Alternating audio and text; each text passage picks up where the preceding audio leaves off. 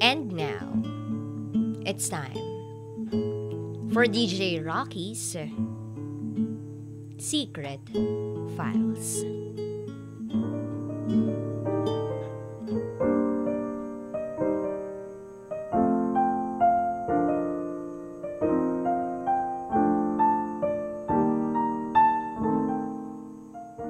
Medyo mahaba-haba itong secret file na to. Pero hindi ito tungkol sa akin. Kwento ito ng best friend kong mas kilala bilang si Abet.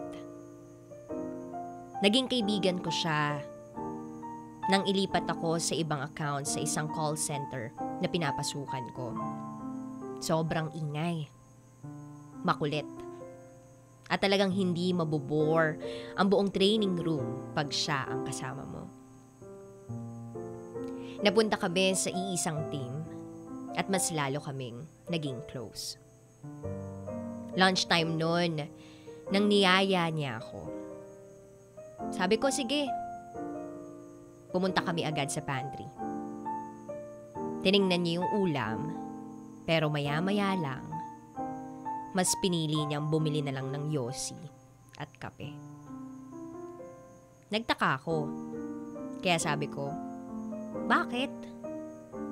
Akala ko ba nagugutom ka na? Tapos ang sagot niya, diet ako, bes. Sabay tawa. At sabi niya, antayin na lang kita. Doon ako sa labas at magbubuga lang ako. Wala akong nagawa. Kaya binilisan ko na lang ang pagkain ko. Tapos, pinuntahan ko siya at nakita ko siya malapit sa may court. Sobrang lalim ng iniisip niya. At first time kong nakitang nagseryoso ang mukha niya. Lumapit ako at pabirong nagsabi, Bes, ang gwapo mo pala pag seryoso ka. Nakaka-in love. Sagot niya, Langya ka? Di tayo talo. Nakita mong mas babae pa ako sa'yo. Bruha ka. Hindi ko mapigilang tumawa ng tumawa nun. Nakakatawa kasi yung reaction niya. Tapos sabi ko sa kanya, Kwentuhan mo naman ako ng buhay mo. Bukod kasi sa alam kong balahura ka, bakla ka, maingay ka, at mataba ka na para kang si Barney, wala na akong alam na iba. Sagot niya, magtatanong ka na nga lang, kailangan mong pa talagang i-emphasize na sexy ako, no? You don't have to be redundant. Natawa ako dun. Pero, napalitan din ng lungkot nang marinig ko ang kwento ng buhay niya. Pito silang magkakapatid. Pero siya lang daw ang may itsura. Dati, siya daw ang paboritong anak kasi kamukha daw niya ang tatay niya. Pero nagbago ang lahat. Nang magladlad siya nung grade 6 siya. Dito niya naranasan ang tunay na kulay ng buo niyang pamilya. Grade 6 siya noon hanggang 4th year high school. Iisa lang ang gamit niyang school pants at sapatos. Naranasan din niyang pagtawanan. Sino ba naman daw ang hindi? Kung may kaklase kang butas-butas na ang pants na ginagamit, di ba? Pati yung sapatos niya, pasalamat na lang siya kasi nakayanang remedyohan ng perdeble kaya nakaabot pa hanggang graduation. Matalino naman siya, masipag, sa kabila ng lahat. Naranasan niyang bugbugin ng tatay niya kasi ginabi siya ng uwi. Hindi man lang daw nagtanong ang tatay niya kung saan siya galing. Hindi man lang daw nakuhang itanong kung kumain na ba siya o hindi. Sabi pa ng tatay niya, Lang niya kang bakla ka? Nagawa mo pang lumandi at ginabi ka? tarantado ka. At kung ano-ano pang mura ang narinig niya mula sa tatay niya. Pero ang mas masakit, ang akala niya, tutulungan siya ng nanay niya. Pero hindi pala. Pinanood lang siya ng nanay niya mula sa may pintuan. At tiningnan lang siya habang binubugbog siya ng tatay niya. Bakit ganun sila? Bakit hindi ba nila alam na wala akong pamasahe kaya naglakad ako? Tanong ni Abet sa sarili niya. Kasi wala namang baon na ibinibigay sa kanya mga magulang niya. Kaya dumidiskarte siya. Tinutulungan niya yung mga teachers sa school niya sa mga projects at pagde-design sa mga bulletin board. Kapalit ang 20 pesos para pamasahe. At dalawang pirasong itlog para sa pananghalian niya. Kaya simula ng pagbuhatan siya ng kamay ng tatay niya. Hindi na siya dumiskarte at naglakad lang tuwing uwian.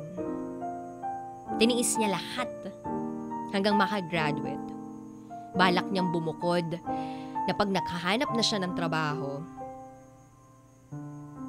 aayos na ang buhay niya. Pero, hindi pala niya magagawa ang plano niya. Dahil after graduation, ilang taon pa lang siya sa una niyang pinagtatrabahuhan. Na-stroke ang nanay niya. Walang ibang nag-alaga sa nanay niya, kundi siya. Kaya ayun, nagpatuloy ang bangungot sa buhay niya. Sinisigurado niyang maaga siyang makakauwi after work. Kasi magluluto pa siya, maglalaba, at aasikasuhin pa niya yung nanay niyang bedridden na. Pagkatapos niyang pakainin yung nanay niya, dederecho na siya sa kwarto niya at matutulog.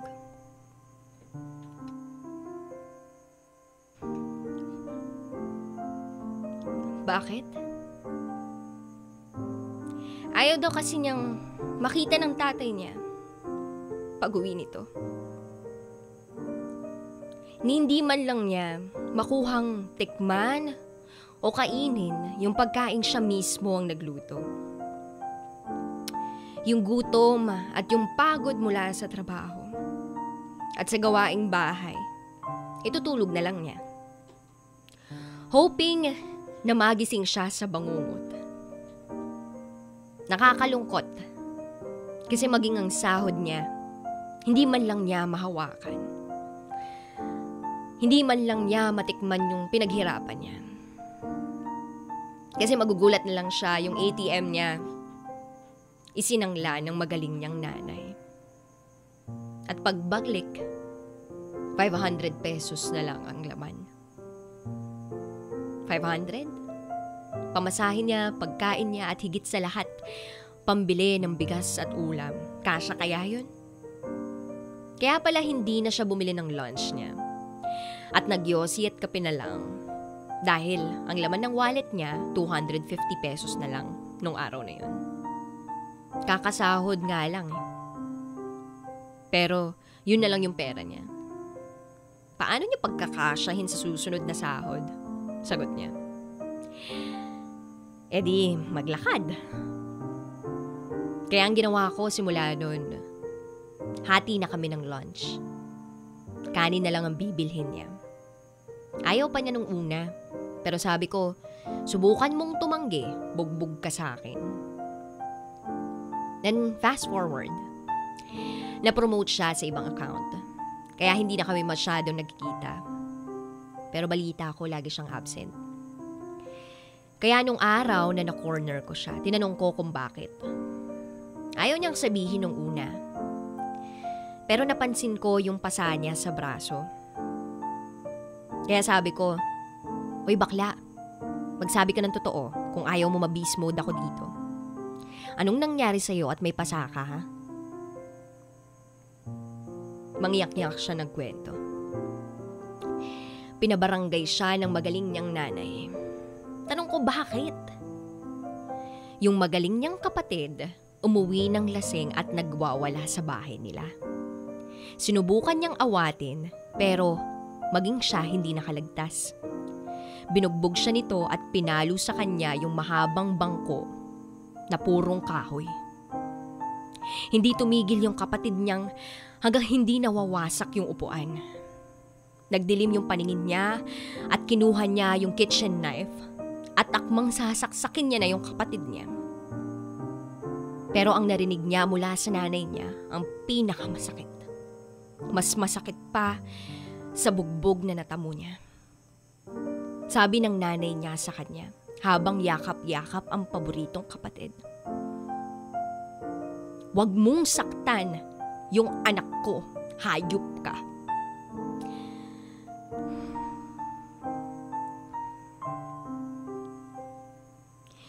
Doon niya na-realize, ano ba ako sa pamilya na to? Anak din naman niya ako, di ba? Tapos may barangay tanod ang pumunta sa kanila. At itinuro siya ng nanay niya. Sabi niya, ng nanay niya, Ayan, papatayin niya yung anak ko. Ikulong niyo yan. Nagulat siya. Siya pa talagang ikukulong. Ano to, joke time? Inimbitahan siya sa barangay. Sinabi niya yung totoo. Ang tanong sa kanya, Gusto mo bang magsampa ng kaso laban sa magulang mo? Sagot niya, Hindi na ho. Kaya ko naman. Kawawa yung nanay ko. Walang mag-aalaga. Ako nainis ako sa sagot niya. Kaya sabi ko, bakit yung nanay mo pa ang naisip mo? Yan na nga ang ginawa sa'yo. Pero mas pipiliin mo pa rin yung walang kwenta mong nanay. Ngumiti lang siya. Pero alam kong gustong gusto na niyang umalis sa kanila. Inofferan ko siyang hahanapan ng apartment na tutuluyan niya. Pero ayaw niya. At ganun pa rin ang sagot niya. Walang mag-aalaga sa nanay niya. Fast forward, April 2017. Niyaya ko siyang mag-swimming kasama ang buong pamilya ko. Masaya. Excited si bakla kasi may inuman, tawanan, kulitan. Pero hindi ko akalain. Yun ang huling araw na makikita ko at makakasama ko siya.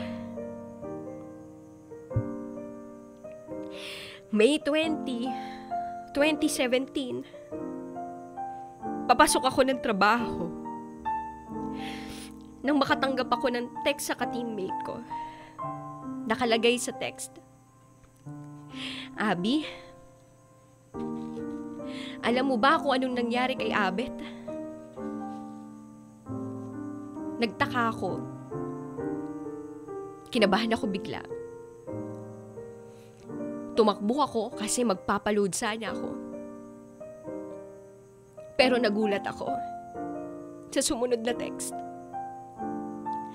Abby, wala na siya. He committed suicide last night.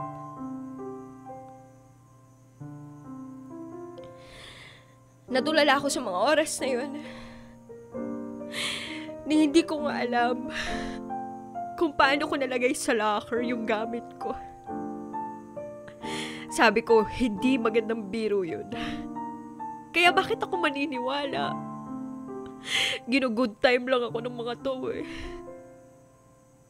Pero pagdating ko sa floor area namin, nakita ako ng mga ka-teammate ko at ng ibang team. Lumapit sila sa akin at nag-iiyakan. Doon unting tumulo na at umaagos ng luha ko. Ang best friend kong balahura. Nagpakamatay. Yung totoo. Ayaw mag-sink in sa utak ko ang nabalitaan ko. Di ayaw nga bubuhos yung luha ko pero hindi talaga. Buhos na buhos talaga. Nung iniyak ko na talaga. Totoo ba talaga? Nag-decide ang buong team na sa Tuesday pumunta sa lamay ni Abet. Balita kasi namin, ang sabi daw ng mga magulang at kapatid niya, inatake sa puso si Abet, kaya namatay. At wala daw katotohanan ng balitang nagbiti siya. Pero may mga kumontra. Nagbigti daw siya sa kwarto niya. Mismo, galing, gamit ang panali na galing sa pinagtatrabahuhan ng tatay niya. Sobrang kapal daw nung tali kaya nahirapan daw ang mga kapatid niya na ibaba siya mula sa pagkakabigti. 5pm daw nagbigti si Abet pero 9pm na-discover yung katawan niya. Ibig sabihin, apat na oras na siyang patay nang makita siya ng paboritong kapatid. 4 hours? Ganun katagal? Ganun katagal siyang nagkabigti. Ayong mag-sink in sa utak ko yung nangyari. Kaya sabi ko sa ka-teammate ko, walang pipigil sa akin sa Tuesday. Magwawala ako. Bubugbugin ko yung kapatid niya. Ina, iahampas ko din. Yung upuan na kasing tigas na inahampas sa kanya nang walang kwenta niyang kapatid. Mumurahin ko din yung nanay niya. Tulad ng sinabi niya kay Abet. Mga wala silang kwenta. Sarili niyang anak. Ginanon nila. Pero lahat ng yun, naglaho nang sumay- sumilip kami sa kabaong niya. Bakit ganun, Bes? Hanggang dito ba naman? Pipigilan mo pa rin ako? Hanggang dito ba naman?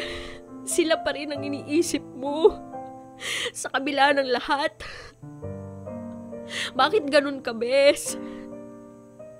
Sa, sa kabila ng ginawa nila sa'yo, bakit nakangiti ka pa rin? Sa uling sandali ng buhay mo? Bakit maaliwalas pa rin ang mukha mo? Bakit walang bahid ng galit? Bakit?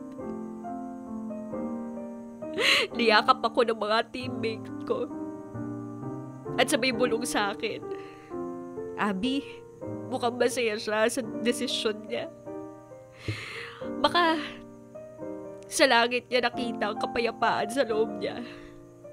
Baka sa langit, doon niya nakita ang pagmamahal na hindi binigay sa kanya ng mga magulang niya. Kaya huwag ka nang magwala. Baka bumangon siya at batukan, batukan ka. Tumingin ako sa kanila. Paano ko magagawa yun kung siya mismo masaya na, tahimik na? Narinig ko mula sa malapit ang sinabi ng nanay niya sa mga kapatid niya.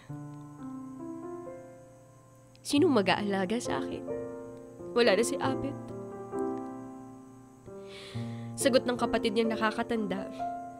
Tigilan mo nga kami, ma. Ayang ka na naman. Ang arte mo. Napangisi na lang ako. So, ngayon maaalala mo, lahat ng sakripisyo ni Abet sa'yo. Matapos mong baliwalain, ngayon hahanap-hanapin mo. Karma is a real bitch. Tinanong ako ng isa niyang kapatid na babae. Tanong niya, bakit daw nagpakamatay si Abet? May naiikwento ba daw siya sa amin? Napangisi ako. Sa isip ko, ganun na lang baka walang halaga si Abet sa buhay niyo para hindi niyo malaman ang dahilan. Kaya sabi ko sa kanya, Ate, kung alam ko man ang dahilan, hindi ko din sasabihin. Bakit? Simple lang. Kasi gusto ko, habang buhay niyo pag-isipan, habang buhay niyo itanong sa sarili niyo kung bakit. Kasi gusto ko, habang buhay niyo dadalhin yung tanong na yan. Hindi nasagot ang ate niya. Nabigla siguro siya sa mga narinig niya. Pero, wala akong pinagsisisihan na hindi sinabi sa kanya ang totoo. Dahil wala naman talaga sa plano yung pakikipag-usap ko sa kanya o alin man sa miyembro ng pamilya niya. Masakit mawalan ng kaibigan.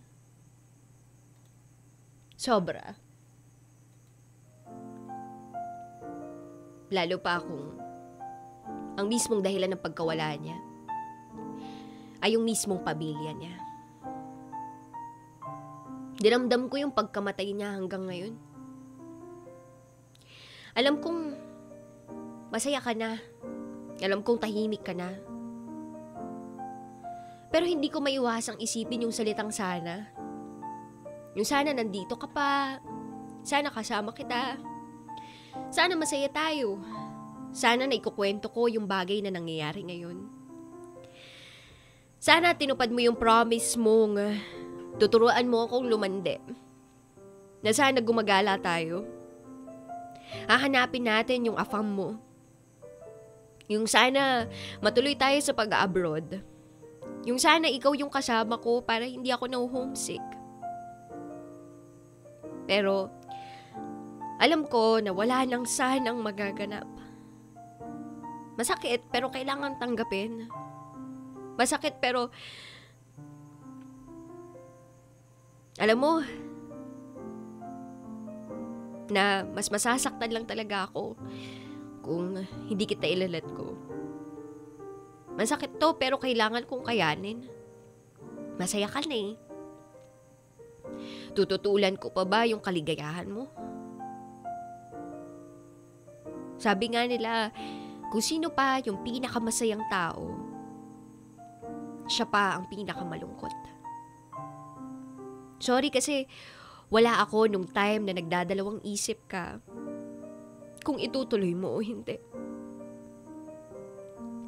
Sorry kasi wala ako nung time nahirap na hirap ka na. Yung wala kang makausap. Sorry. Wala. Dahil hindi ko natupad yung promise kung walang iwanan. Sa, sorry. Dahil wala ako nung kailangan mo ko. Pero masaya ako na kahit papaano, alam kong masaya ka na dyan. Yun nga lang, walang alak. Walang kahit anong beer dyan. Gin. Lalo na't walang yosi dyan. Pero huwag kang mag-alala. Itatry kong ipuslit yan sa sementeryo pagdalaw ko sa'yo. Miss na kita. Miss ko na yung tawa mo. Miss ko na yung pambubuli ko sa'yo. Miss ko na yung pagsabunot mo kapag na nag-aasaran tayo. At huwag kang mag-alala sa akin, Abet. Okay naman ako. But I mean, I'm still in the process of moving on. Huwag mo nang alalahanin yung pamilya mo. Bahala na sila sa buhay nila. You know, our memories of friendship will always remain here in my heart. Dahil mahirap humanap ng kaibigang katulad mo. Sabi mo nga, sa last message mo sa akin sa messenger, I will miss you. And until next time. That secret file was sent to us by Abby. Sabi nga nila, The people who love us never really leave us. They will always stay in our hearts. It's the best.